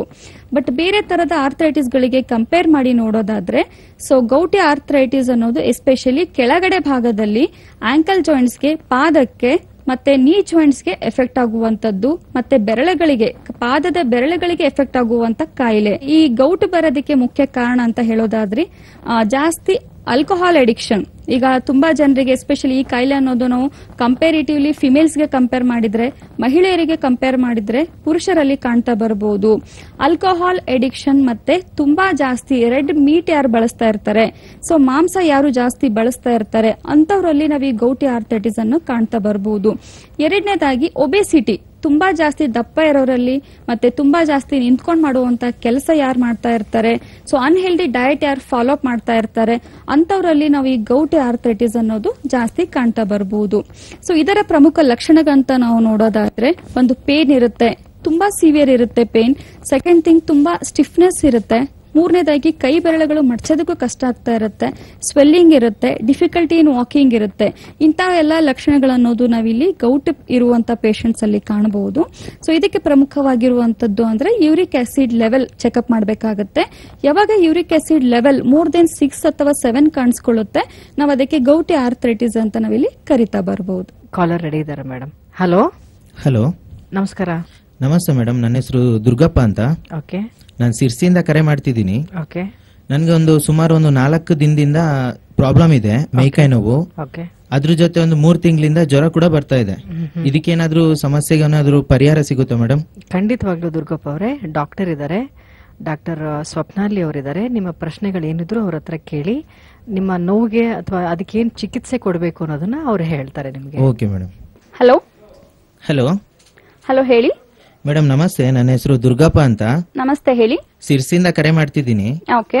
ನನ್ಗೊಂದು ಸುಮಾರು ಒಂದು ಐದಾರು ತಿಂಗಳಿಂದ ಜ್ವರ ಮತ್ತೆ ಮೈಕಲ್ ನೋವುಗಳು ತುಂಬಾ ಬರ್ತಾ ಇದೆ. ಓಕೆ. ಹತ್ರದ ದವಾಖಾನೆಯಲ್ಲಿ ಟ್ರೀಟ್ಮೆಂಟ್ ಎಲ್ಲ ತಗೊಂಡಿನಿ ಗುಳಿಗೆ ಎಲ್ಲ. ಓಕೆ. ಇನ್ನೂ ಕೂಡ ಕಡಿಮೆ ಆಗ್ತಿಲ್ಲ. ನಾಲ್ಕು ದಿನ ಬಿಟ್ರೆ ಮತ್ತೆ ನಾಲ್ಕು ದಿನದಲ್ಲಿ ಮತ್ತೆ ಸ್ಟಾರ್ಟ್ ಆಗುತ್ತೆ ಸಮಸ್ಯೆ. ಈಗ ನಿಮ್ಗೆ ಕಾಯಿಲೆ ಸ್ಟಾರ್ಟ್ ಆಗಿ ನಾಲ್ಕೈದು ತಿಂಗಳಾಗಿದೆನಾ? ಹೌದು ನಾಲ್ಕೈದು ತಿಂಗಳಾಗಿರ್ಬೋದು. ಎಲ್ಲಾ ಒಂದು ಜಾಯಿಂಟ್ಸ್ ಅಲ್ಲೂ ನೋವು ಬರ್ತಾ ಇದ್ದಾನಾ ಅಥವಾ ಪರ್ಟಿಕ್ಯುಲರ್ ಆಗಿ ಇದೇ ಜಾಯಿಂಟ್ ಅಲ್ಲಿ ಅಂತ ಏನಾದ್ರು ನೋವು ಕಾಣಿಸ್ಕೊಳ್ತಾ ಇದ್ದಾನಾ ಕೈ ಭಾಗ ಕೈ ಬೆರಳು ಭಾಗ. ಮಂಡಿ ಭಾಗ ಓಕೆ ಈ ತರ ನೋವು ಬರುತ್ತೆ. ಈ ನೋವುಗಳು ಬರೋಕಿನ ಮುಂಚೆ ನಿಮ್ಗೆ ವೈರಲ್ ಫೀವರ್ ಜ್ವರ ಏನಾದ್ರೂ ಬಂದಿತ್ತಾ? ಹೌದು ಜ್ವರ ಕೂಡ ಇತ್ತು. ಓಕೆ ಅದಕ್ಕೆ ಟ್ರೀಟ್ಮೆಂಟ್ ಏನಾದ್ರೂ ಉಪಯೋಗಿಸ್ತಾ ಇದ್ದೀರಾ? ಜ್ವರಕ್ಕೆ ಅಂತ ಗೊತ್ತಿಲ್ಲ ಆಯ್ತು. ಆದ್ರೆ ಪೇನ್ ಕಿಲ್ಲರ್ ಏನಾದ್ರು ಇದ್ರು ಮೆಡಿಸಿನ್ ತಗೋತಿದ್ದೀನಿ. ಓಕೆ ಅದಕ್ಕೆ ತಕ್ಕಂತ ಏನಾದ್ರೂ ರಕ್ತ ಪರೀಕ್ಷೆಗಳೇನಾದ್ರೂ ಮಾಡಿಸಿದೀರಾ ಇಲ್ಲ ಮೇಡಮ್, ಏನು ಮಾಡಿಸಿಲ್ಲ. ಓಕೆ ನೋಡಿ, ಈಗ ನೀವು ಸುಮಾರು ನಾಲ್ಕರಿಂದ ಐದು ತಿಂಗಳುಗಳಿಂದ ನಿಮ್ಗೆ ನೋವಿದೆ ಅಂತ ಹೇಳ್ತಾ ಇದ್ದೀರಾ. ಆಲ್ಮೋಸ್ಟ್ ಎಲ್ಲಾ ಒಂದು ಜಾಯಿಂಟ್ಸ್ ಅಲ್ಲೂ ಕೂಡ ನೋವು ಬರ್ತಾ ಇದೆ ಅಂತ ಹೇಳ್ತಾ ಇದ್ದೀರಾ. ಚಿಕ್ಕ ಚಿಕ್ಕ ಜಾಯಿಂಟ್ಸ್ ಇಂದ ನಿಮ್ಗೆ ಲಾಂಗರ್ ಜಾಯಿಂಟ್ಸ್ ವರೆಗೂ ಪೇನ್ ಇದೆ ಅಂತ ಹೇಳ್ತಾ ಇದ್ದೀರಾ. ಕೈ ಬೆರಳು, ಕಾಲಿನ ಬೆರಳುಗಳಲ್ಲೂ ಕೂಡ ನೋವಿದೆ ಅಂತ ಹೇಳ್ತಾ ಇದ್ದೀರಾ. ಅಂಡ್ ನೋಡಿ, ಎಷ್ಟೋ ಒಂದು ಸಲ ನಾವೇನಾಗುತ್ತೆ, ಈ ರೂಮಟೆಡ್ ಆರ್ಥ್ರೈಟಿಸ್ ಅಥವಾ ಸೀರೋ ನೆಗೆಟಿವ್ ಆರ್ಥ್ರೈಟಿಸ್ ಅಂತ ನಾವೇನು ಹೇಳ್ತೀವಿ, ಈ ಒಂದು ಕಾಯಿಲೆ ಅನ್ನೋದು ಸುಮಾರು ಜನರಲ್ಲಿ ಹಿಸ್ಟ್ರಿ ಆಫ್ ವೈರಲ್ ಫೀವರ್ ಅಂತ ನಾವೇನ್ ಹೇಳ್ತೀವಿ? ಎಷ್ಟೋ ಜನರಿಗೆ ಡೆಂಗು ಆದ್ಮೇಲೆ, ಎಷ್ಟೋ ಜನರಿಗೆ ಚಿಕನ್ ಗುಣ್ಣೆ ಆದ್ಮೇಲೆ, ಈ ವೈರಲ್ ಫೀವರ್ ಆದ್ಮೇಲೆ ಕಾಣಿಸ್ಕೊಳ್ಳುವಂತದ್ದು ಸೊ ಅದಕ್ಕೆ ವೈರಲ್ ಆರ್ಥೈಟಿಸ್ ಅಂತಾನು ಕೂಡ ನಾವು ಹೇಳ್ಬಹುದು ಸೊ ಮುಖ್ಯವಾಗಿ ನಿಮ್ಗೆ ರುಮಟೆಡ್ ಆರ್ಥೈಟಿಸ್ ಇದೆನಾ? ವೈರಲ್ ಆರ್ಥೈಟಿಸ್ ಇದೆನಾ? ಸಿರೋ ನೆಗೆಟಿವ್ ಆರ್ಥೈಟಿಸ್ ಇದೆನಾ ಅಂತ ತಿಳ್ಕೊಳ್ಳೋದು ತುಂಬಾನೇ ಇಂಪಾರ್ಟೆಂಟ್ ಆಗುತ್ತೆ. ಯಾಕಂದ್ರೆ ಈ ತರದ ಕಾಯಿಲೆಗಳು ಇದು ಆಟೋ ಇಮ್ಯೂನ್ ಡಿಸೀಸ್ ಅಂತ ಹೇಳ್ಬಹುದು ಸ್ವಯಂ ನಿರೋಧಕ ಕಾಯಿಲೆಗಳಂತ ನಾವು ಹೇಳ್ತೀವಿ. ಸೊ ಒಂದು ಸಲ ಈ ಕಾಯಿಲೆ ಅನ್ನೋದು ಕಾಣಿಸ್ಕೊಂಡ್ರೆ ಇದಕ್ಕೆ ಶಾಶ್ವತ ಪರಿಹಾರ ಕೊಡೋದು ತುಂಬಾನೇ ಕಷ್ಟ ಆಗ್ತಾ ಹೋಗುತ್ತೆ. ಆ ವಿಷಯದಲ್ಲಿ ನೀವು ನೆಗ್ಲೆಕ್ಟ್ ಮಾಡ್ತಾ ಹೋದ್ರೆ ಸೊ ಕಾಂಪ್ಲಿಕೇಶನ್ಸ್ ಹೆಚ್ಚಾಗ್ತಾ ಹೋಗುತ್ತೆ. ಸೊ ಕೈ ಬೆರಳುಗಳ ಮತ್ತೆ ಕಾಲಿನ ಬೆರಳುಗಳ ನೋವು ಜಾಸ್ತಿ ಆಗೋದು ಅಷ್ಟೇ ಅಲ್ಲ, ಒಂದು ಹಂತಕ್ಕೆ ನೀವು ಕರೆಕ್ಟ್ ಆಗಿ ಟ್ರೀಟ್ಮೆಂಟ್ ಗಳನ್ನ ಫಾಲೋ ಮಾಡ್ಲಿಲ್ಲ ಅಂತ ಹೇಳೋದಾದ್ರೆ ಸೊ ಕೈನ ಬೆರಳುಗಳ ಶೇಪ್ ಚೇಂಜ್ ಆಗುವಂತ ಸಾಧ್ಯತೆಗಳು ಕೂಡ ಇರುತ್ತೆ. ಬಟ್ ಎಕ್ಸಾಕ್ಟ್ ಆಗಿ ನಿಮ್ಗೆ ಇದೇ ತರದ ಆರ್ಥ್ರೈಟಿಸ್ ಇದೇನಾ ಇಲ್ವಾ ಅಂತ ನಾವು ತಿಳ್ಕೊಳ್ಳೋದು ತುಂಬಾನೇ ಮುಖ್ಯವಾಗುತ್ತೆ. ಯಾಕಂದ್ರೆ ನೀವು ನೋವಿದೆ ಅಂತ ಹೇಳ್ತಾ ಇದ್ದೀರಾ ಹೊರತು, ಐದು ತಿಂಗಳುಗಳಿಂದ ಯಾವುದೇ ತರದ ಅದಕ್ಕೆ ತಕ್ಕಂತೆ ಟೆಸ್ಟ್ ಗಳನ್ನೋದು ಮಾಡಿಸಿಲ್ಲ ಅಂತಾನು ಕೂಡ ಹೇಳ್ತಾ ಇದ್ದೀರಾ. ಸೊ ಒಂದ್ಸಲ ಡೈರೆಕ್ಟ್ ಆಗಿ ಬಂದು ಕನ್ಸಲ್ಟ್ ಮಾಡಿ ನಿಮ್ಮ ಪ್ರಾಬ್ಲಮ್ಗೆ ಸೊಲ್ಯೂಷನ್ ಅನ್ನೋದು ನಾವಿಲ್ಲಿ ಕೊಡೋದಕ್ಕೆ ಹೆಲ್ಪ್ ಮಾಡ್ತೀವಿ. ಅದಕ್ಕೆ ತಕ್ಕಂತೆ ಇರುವಂತ ಇನ್ವೆಸ್ಟಿಗೇಷನ್ಸ್ ಏನಿರುತ್ತೆ ಟೆಸ್ಟ್ ಗಳೇನಿರುತ್ತೆ ಅದನ್ನ ನಾವಿಲ್ಲಿ ಮಾಡಿಸೋದಕ್ಕೆ ಹೆಲ್ಪ್ ಮಾಡ್ತೀವಿ. ಸೊ ಅದ್ರ ಮುಖಾಂತರ ನಿಮ್ಗೆ ಕಾಯಿಲೆ ಯಾವ ತರ ಇದೆ ಇಂಟೆನ್ಸಿಟಿ ಎಷ್ಟಿದೆ? ಅಥವಾ ನಿಮಗೆ R A C R P ಏನಾದರೂ ಪಾಸಿಟಿವ್ ಬಂದರೂ ಕೂಡ ಯಾವ ಒಂದು ಲೆವೆಲ್ ಅಲ್ಲಿ ಇದೆ? ಅದರ ಮುಖಾಂತರ ನಾವಿಲ್ಲಿ ಟ್ರೀಟ್ಮೆಂಟ್ ಅನ್ನೋದು ಸ್ಟಾರ್ಟ್ ಮಾಡ್ತೀವಿ. ಆಯ್ತ್ರಿ ಮೇಡಮ್ ಆಯ್ತ್ರಿ ನಮಸ್ತೆ. ಥ್ಯಾಂಕ್ ಯು ದುರ್ಗಪ್ಪ ಅವರೇ ಕರೆ ಮಾಡೋದಕ್ಕೆ ಧನ್ಯವಾದಗಳು. ಡಾಕ್ಟರ್ ಈಗ ನಾವು ಎಷ್ಟು ಲಕ್ಷಣಗಳಿದಾವೆ ಎಷ್ಟು ವಿಧವಾದಂಥ ಆರ್ಥ್ರೈಟಿಸ್ ಇದಾವೆ ಅಂತ ನಾವು ತಿಳ್ಕೊಂಡ್ವಿ. ಆದ್ರೆ ಸಾಮಾನ್ಯವಾಗಿ ಈ ಪೇನ್ ಬಂದ ಕೂಡಲೇ ನಮಗೆ ಸಂಧಿವಾತದ ಕಾಯಿಲೆ ಇದೆ ಅಂತ ಯಾರಿಗೂ ಗೊತ್ತಾಗಲ್ಲ. ನಾವೇನೋ ಇವತ್ತು ಸ್ಟ್ರೆಸ್ಫುಲ್ ಆದಂಥ ಕೆಲಸ ಮಾಡಿದೀವಿ ಅಂತಲೂ ಒಂದು ಪೇನ್ ಕಿಲ್ಲರ್ ಮಾತ್ರೆ ತಗೊಳ್ತಾರೆ ಅಥವಾ ಸ್ಪ್ರೇ ಹಾಕೊಂಡು ಪೇನ್ ವಾಸಿ ಆಯಿತು ಅಂತ ಸುಮ್ಮನೆ ಆಗ್ಬಿಡ್ತಾರೆ. ಆದರೆ ನಮಗೆ ಆರ್ಥ್ರೈಟಿಸ್ ಇದೆ ಅಂತ ಒಬ್ಬ ಪೇಷಂಟ್ ಅದನ್ನ ಹೇಗೆ ಕಂಡು ಹಿಡ್ಕೊಳ್ತಾನೆ ಅದರ ಲಕ್ಷಣಗಳೇನು? ಅಂತ ನೀವೊಂದು ತಿಳಿಸಿಕೊಡಿ. ಖಂಡಿತ. ಇವಾಗ ಸೊ ನಾವು ಆಸ್ಟಿಯೋ ಆರ್ಥ್ರೈಟಿಸ್ ರುಮೋಟೆಡ್ ಆರ್ಥ್ರೈಟಿಸ್ ಮತ್ತೆ ಗೌಟ್ ಆರ್ಥ್ರೈಟಿಸ್ ಬಗ್ಗೆ ನಾವು ಇಲ್ಲಿ ನೋಡಿದ್ವಿ.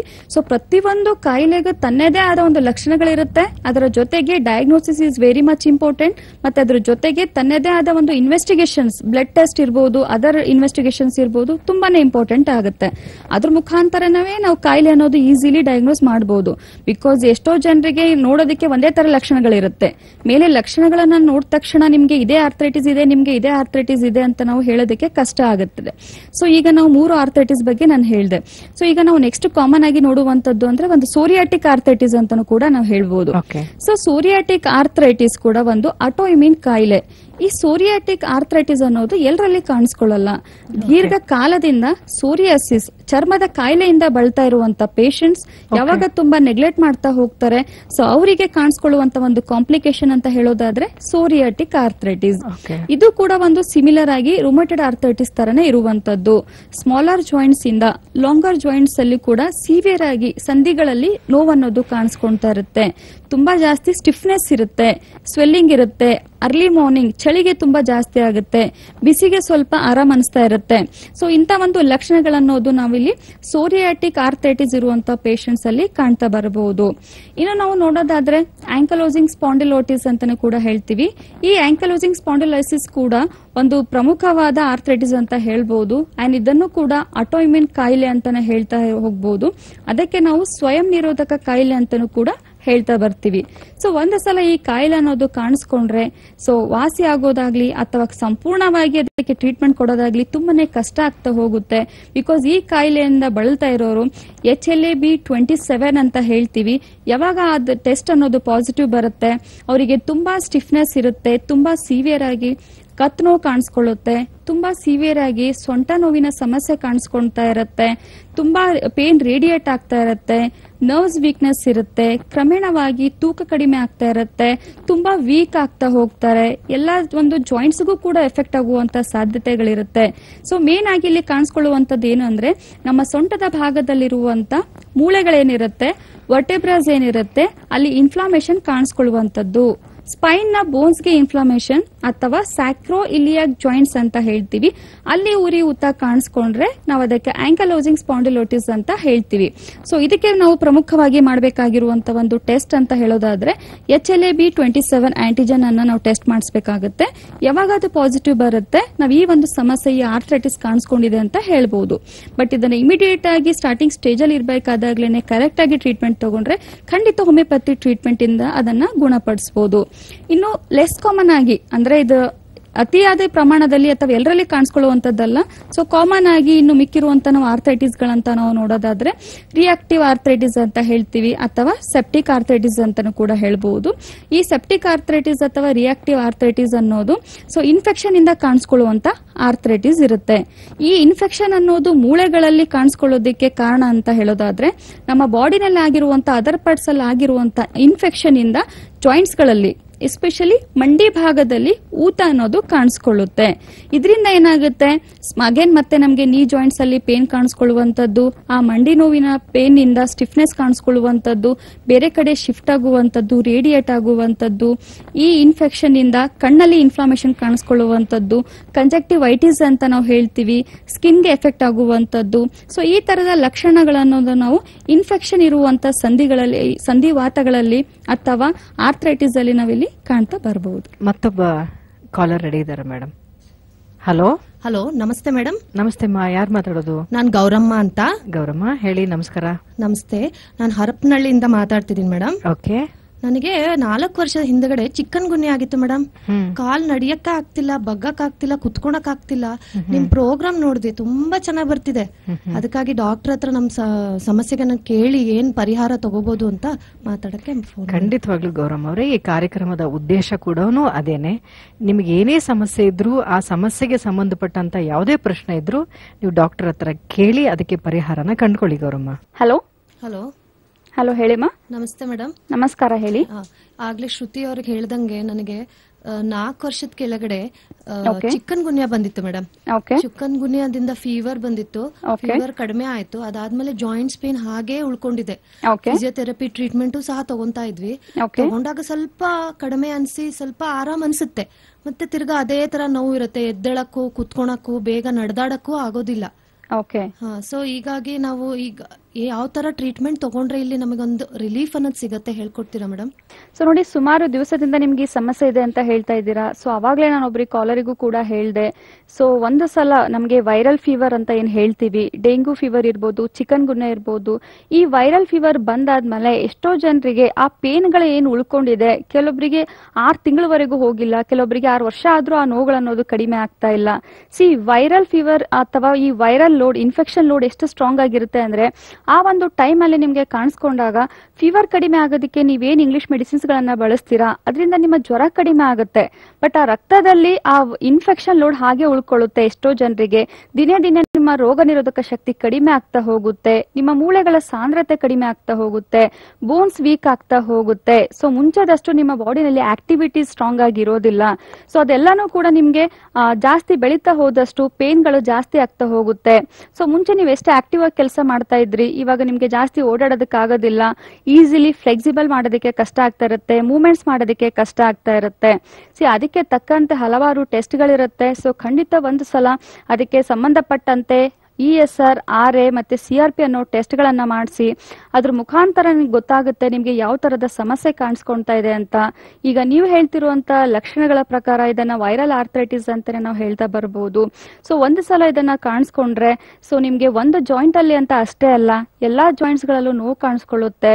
ಅರ್ಲಿ ಮಾರ್ನಿಂಗ್ ತುಂಬಾ ಸ್ಟಿಫ್ನೆಸ್ ಇರುತ್ತೆ ನಿಮ್ಗೆ, ಕೈ ಬೆರಳುಗಳಲ್ಲಿ, ಕಾಲಿನ ಬೆರಳುಗಳಲ್ಲಿ ಸೊ ಊತ ಕಾಣಿಸ್ಕೊಳ್ಳುವಂತದ್ದು ಸ್ಟಿಫ್ನೆಸ್ ಇರುವಂತದ್ದು ಕೋಲ್ಡಿಗೆ ಜಾಸ್ತಿ ಅಗ್ರಿವೇಟ್ ಆಗುವಂತದ್ದು ಸ್ವಲ್ಪ ಬಿಸಿಲಿಗೆ ಬೆಟರ್ ಫೀಲ್ ಆಗ್ತಾ ಇರುತ್ತೆ.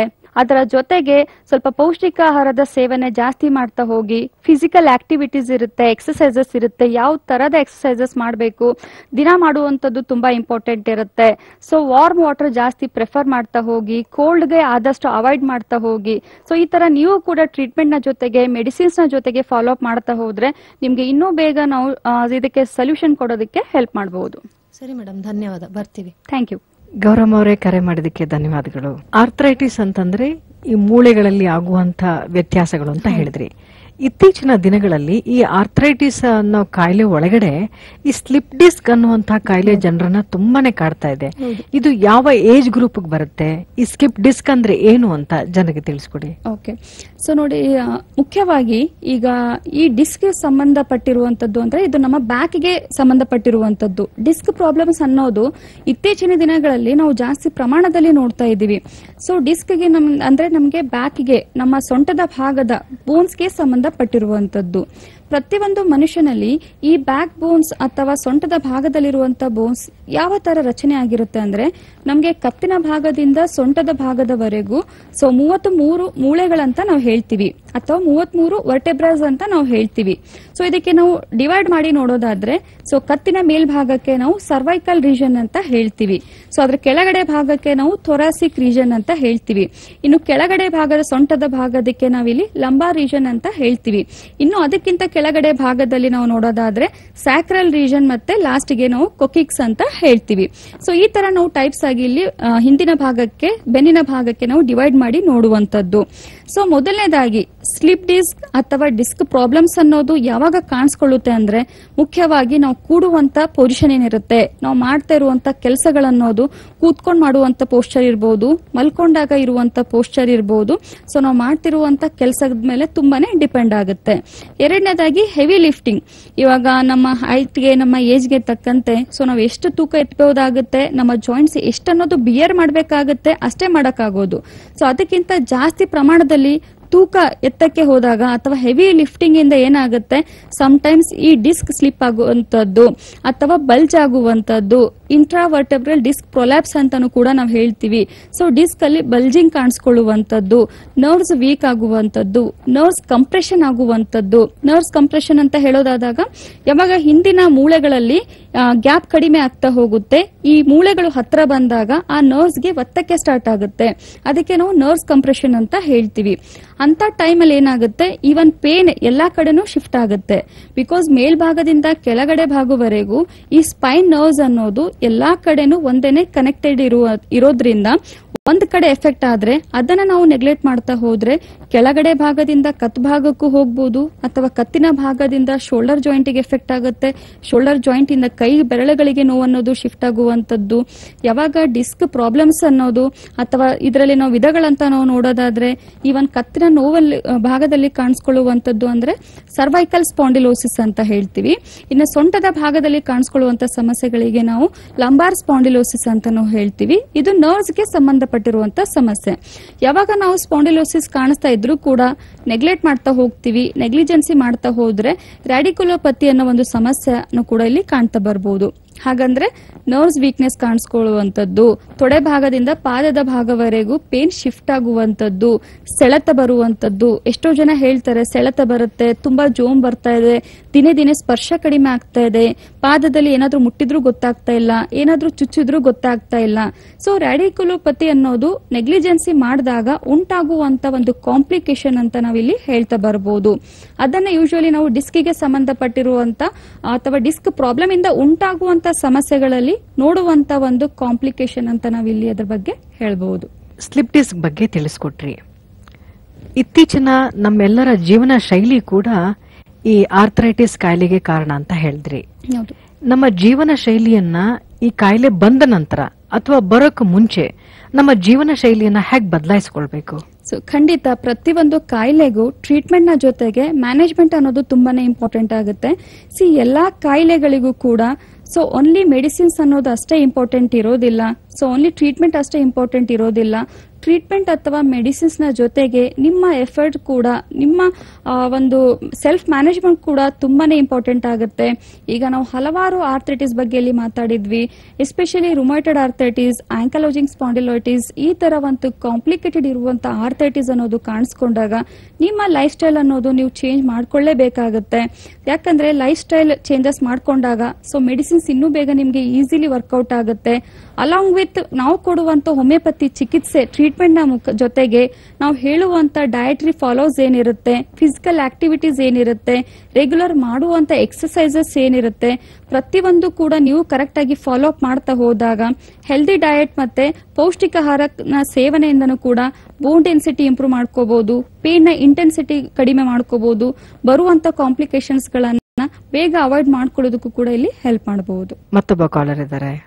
ಹಲೋ ಹಲೋ ನಮಸ್ಕಾರ. ನಮಸ್ತೆ ಮೇಡಮ್ ನಮಸ್ತೆ. ಹೆಸರೇನು? ನನ್ನ ಹೆಸರು ಸುಮಲತಾ. ಸುಮಲತಾ ಅವರೇ ಹೇಳಿ. ಲಕ್ಷ್ಮೇಶ್ವರ್ಲಿಂದ ಗದಗ ಗದಗ್ ಹತ್ರ ಮಾತಾಡ್ತಾ ಇದ್ದೀನಿ. ಓಕೆ ಗದಗ್ನಿಂದ. ಹೇಳಿಮ್ಮ ಮ್ಯಾಮ್ ನಿಮ್ ಕಾರ್ಯಕ್ರಮ ನೋಡ್ತಾ ಇದ್ದೀನಿ. ಡಾಕ್ಟರ್ ತುಂಬಾ ಚೆನ್ನಾಗಿ ಮಾಹಿತಿ ಕೊಟ್ಟಿದಾರ? ಓಕೆ ನನಗ್ ಕೂಡ ಇದೇ ತರ ಸಮಸ್ಯೆ ಇದೆ ಮ್ಯಾಮ್ ಓಕೆ ತುಂಬಾ ಎಲ್ಲಾ ಕಡೆ ತೋರಿಸಿದೀನಿ ಕಡಿಮೆನೇ ಆಗಿರ್ಲಿಲ್ಲ. ಅದಕ್ಕೆ ಸ್ವಲ್ಪ ಮಾಹಿತಿ ಬೇಕಾಗಿತ್ತು ಮ್ಯಾಮ್ ಓಕೆ ನಮ್ಮ ಹೋಮಿಯೋಪತಿಯಲ್ಲಿ ನಿಮಗೆ ಸಂಬಂಧಪಟ್ಟಂತ ನಿಮಗೆ ಕಾಯಿಲೆಗೆ ಸಂಬಂಧಪಟ್ಟಂತ ಹಲವಾರು ಸೂಕ್ತವಾದಂತಹ ಚಿಕಿತ್ಸೆಗಳು ನಿಮಗೆ ಸಿಕ್ಬೋದು ಅನ್ನೋ ನಂಬಿಕೆನೂ ನನಗಿದೆ. ನೀವು ಡಾಕ್ಟರ್ ಹತ್ರನೇ ನೇರವಾಗಿ ನಿಮ್ಮ ಪ್ರಶ್ನೆಗಳನ್ನ ಕೇಳಿ ಸುಮಲತಾ ಅವರೇ.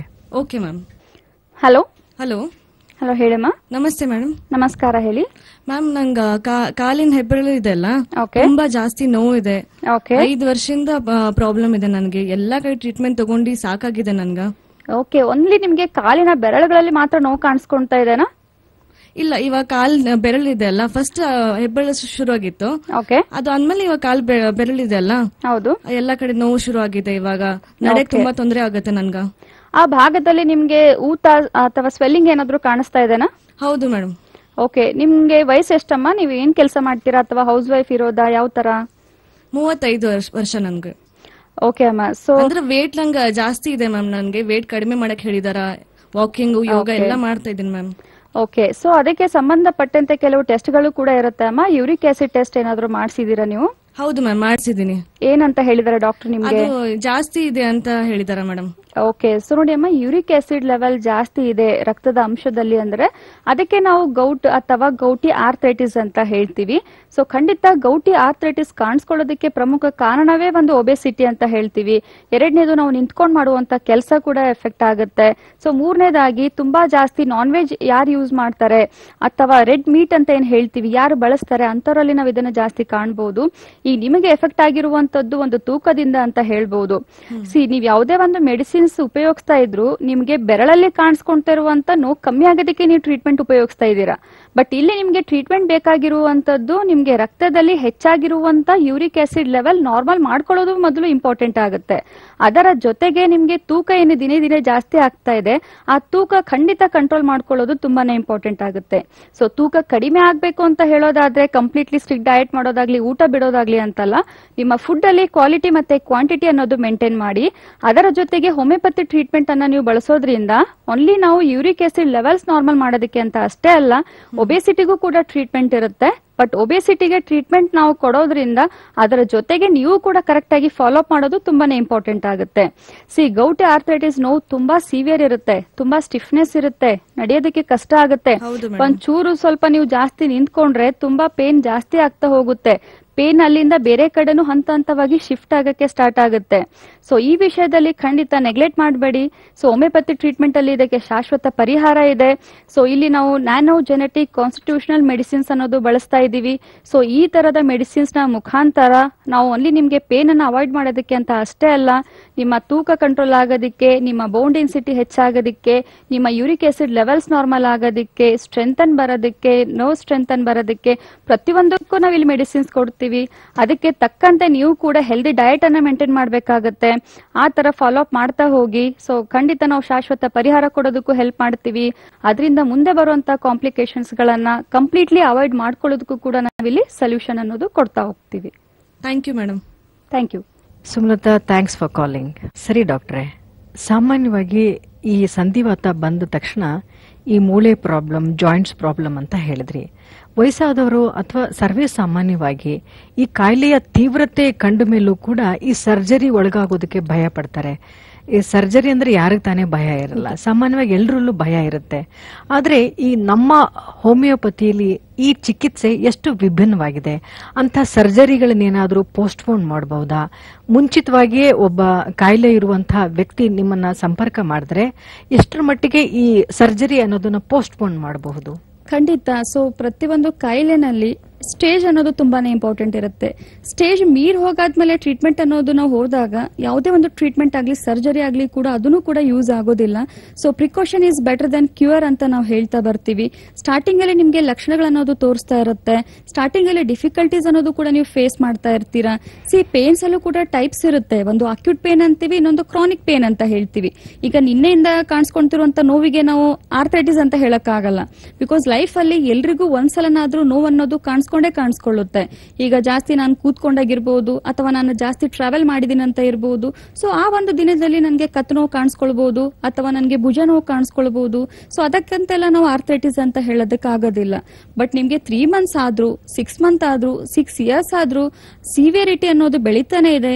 ನೋವು ಅನ್ನೋದು ಕಾಣಿಸ್ಕೊಳ್ತಾ ಇದೆ ಕಾಂಪ್ಲಿಕೇಶನ್ಸ್ ಅನ್ನೋದು ಕಾಣಿಸ್ಕೊಳ್ತಾ ಇದ್ರು ಕೂಡ ಓನ್ಲಿ ಸ್ಪ್ರೇಗಳನ್ನ ಬಳಸೋದು, ಮಾತ್ರೆಗಳನ್ನ ತಿನ್ನೋದು ಅಥವಾ ಸರ್ಜರಿಗೆ ಮೊರೆ ಹೋಗೋದ್ರಿಂದ ಯಾವುದೇ ರೀತಿ ಶಾಶ್ವತ ಪರಿಹಾರ ಸಿಗೋದಿಲ್ಲ. ಸ್ಟಾರ್ಟಿಂಗ್ ಸ್ಟೇಜ್ ಅಲ್ಲಿನೇ ನಿಮ್ಗೆ ಈ ತರ ಲಕ್ಷಣಗಳನ್ನೋದು ಕಾಣಿಸ್ಕೊಳ್ತಾ ಇದೆ ಅಂದಮೇಲೆ ಸೊ ಹೋಮಿಯೋಪತಿ ಟ್ರೀಟ್ಮೆಂಟ್ ಮುಖಾಂತರ ಇದಕ್ಕೆ ಸಂಪೂರ್ಣವಾಗಿ ಪರಿಹಾರ ಖಂಡಿತ ಪಡ್ಕೋಬಹುದು.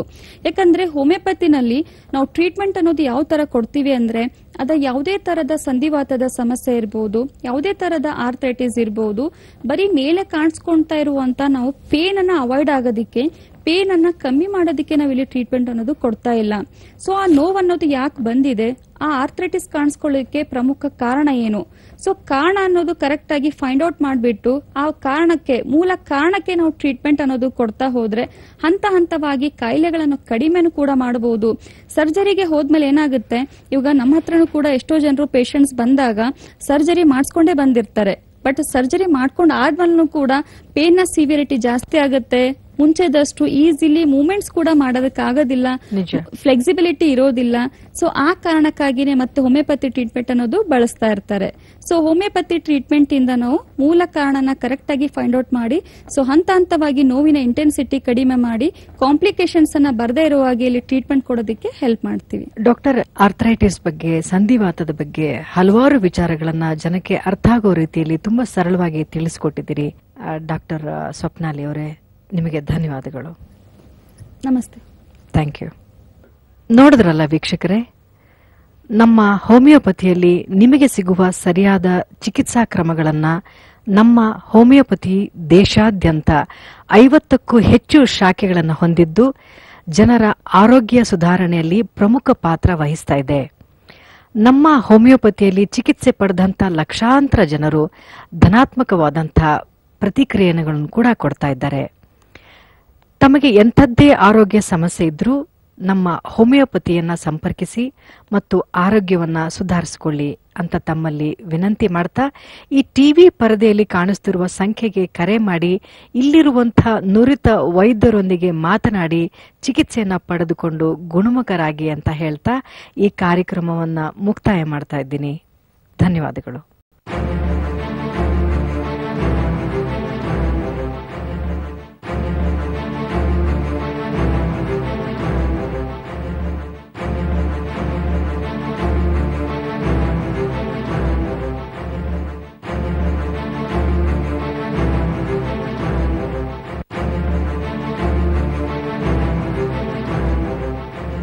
ನಮ್ಮ ಹೋಮಿಯೋಪತಿನಲ್ಲಿ ತಕ್ಷಣದ ಪರಿಹಾರ ಕೊಡೋದಿಲ್ಲ. ಆ ರೋಗದ ಮೂಲ ಕಾರಣ ಏನು ಅಂತ ಹುಡುಕಿ ಆ ಮೂಲಕ್ಕೆ ಔಷಧಿ ಕೊಡ್ತಾರೆ. ಆ ರೋಗ ಮತ್ತೊಮ್ಮೆ ತನಗೆ ಬರದೇ ಇರೋ ಹಾಗೆ ನಮ್ಮ ಹೋಮಿಯೋಪತಿ ನೀವು ಮಾಡುತ್ತೆ. ನಮ್ಮ ಹೋಮಿಯೋಪತಿ ಆರೋಗ್ಯ ಸಂಜೀವನಿ. ಐದು ವರ್ಷದಿಂದ ಗ್ಲೂಕೋಸ್ ಲೆವೆಲ್ ಜಾಸ್ತಿ ಆಗ್ತಾ ಇತ್ತು. ಬಟ್ಟೆ ಒಗ್ಯಕ್ ಆಗ್ತಿರ್ಲಿಲ್ಲ ಮನೆ ಕೆಲಸ ಮಾಡಕ್ ಆಗ್ತಿರ್ಲಿಲ್ಲ ಅಡಿಗೆ ಮಾಡಕ್ ಆಗ್ತಿರ್ಲಿಲ್ಲ. ಅಮೃತ ನೋನಿ ಡಿ ಪ್ಲಸ್ ತಗೊಳಕ್ ಶುರು ಮಾಡಿದ್ವಿ. ನಮ್ಗೆ ಪಾದ ಉರಿಯೋದ್ ಕಡಿಮೆ ಆಯ್ತು ಮೈ ಕೈ ನೋವು ಕಡಿಮೆ ಆಯ್ತು ಮಂಡಿ ನೋವು ಕಡಿಮೆ ಆಯ್ತು.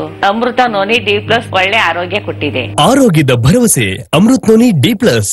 Yoga ಮುದ್ರೆ ಹಾಗೂ ಕಾಸ್ಮಿಕ್ ಹೀಲಿಂಗ್ ನಂತಹ ನೈಸರ್ಗಿಕ ಚಿಕಿತ್ಸೆಯಿಂದ ನಿಮ್ಮೆಲ್ಲ ಆರೋಗ್ಯದ ಸಮಸ್ಯೆಗಳಿಗೆ ಪರಿಹಾರ ಕಂಡುಕೊಳ್ಳಲು ಹಾಗೂ ಡಾಕ್ಟರ್ ಲತಾ ಶೇಖರ್ ಅವರ ನೇರ ಭೇಟಿಗಾಗಿ ಕರೆ ಮಾಡಿ nine five three five double six zero double one zero ಅಥವಾ eight double six zero five one eight one six four.